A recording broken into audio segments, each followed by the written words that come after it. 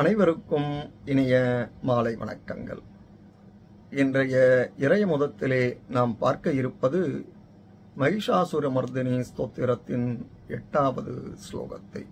அதை பார்ப்பதற்கு முன்பாக இன்று நாம் பார்க்கக்கூடிய அம்மனானவள் ஜாதவேத துர்க்கை. அக்னி வடிவில் விளங்கும் பராசக்தியே இந்த ஜாதவேத துர்க்கை. துர்கா சுக்தமானது ஜாதவேதசே என்று ஆரம்பமாகிறது. அதில் இரண்டாவது மந்திரமானது செந்தி வர்ணத்தினல் என்றும் தம் ஒளியால் பகைவரை எரிப்பவள் என்றும் நான்காவது மந்திரத்தில் ஆபத்தை போக்கும் அக்னிசக்தி என்றும் குறிப்பிடப்படுகிறது. கேன உபனிஷத்திலே அம்பிகை ஒரு மாபெரும் ஜோதியாக கர்வமுற்ற தேவர்கள் முன் தோன்றியதாக வர்ணிக்கப்படுகிறாள். இப்பொழுது வாருங்கள் மகிஷாசுரமர்தினி ஸ்தோத்திரத்தின் எட்டாவது ஸ்லோகத்தை பார்ப்போம்.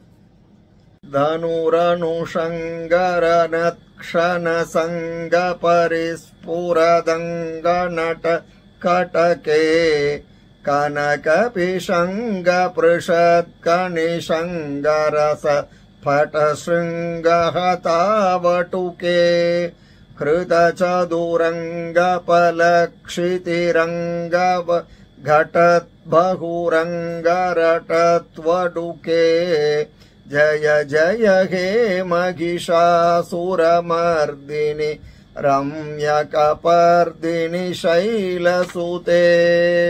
இதன் பொருள் யுத்த களத்தில் யுத்தம் செய்யும் போது நடனமாடுவது போல அசைகின்ற வளையல்களை அணிந்தவளே. உன்னுடைய வில்லிலும் அம்பரா துணியிலுமாக கைகளை வைத்து விரைந்து செயல்படும் வீரர்களை கொன்றவளே.